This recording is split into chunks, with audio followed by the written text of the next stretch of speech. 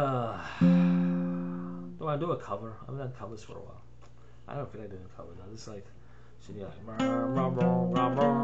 doing some uh, made up on the spot songs. I'm doing like when you wanna know what you're thinking, what are you doing? Are you thinking?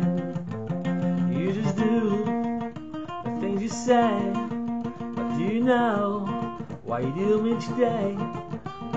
You don't know what you're doing. You just don't know the things you're proving.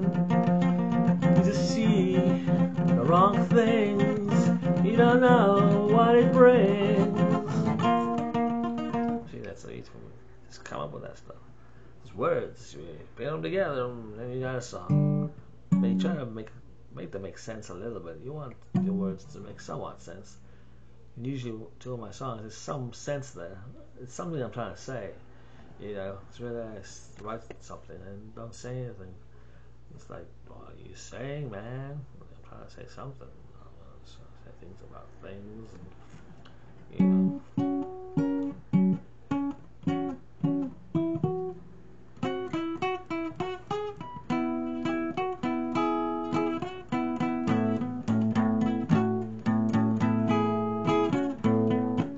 guitar. I think guitar is the greatest instrument ever created. You know, I just do. It's a very pleasing sound.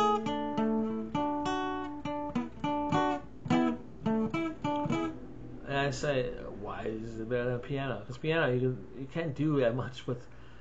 You have, you know, piano sounds nice, but you can't bend the strings on a piano and mute.